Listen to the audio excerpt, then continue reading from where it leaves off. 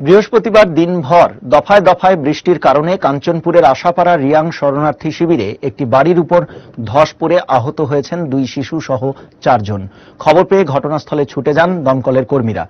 পরে তাদের উদ্ধার করে হাসপাতালে নিয়ে যাওয়া হয়। আহতদের মধ্যে একজন মহিলা সহ কুড়ি দিন বয়সী এক শিশুও রয়েছে বলে জানা গেছে।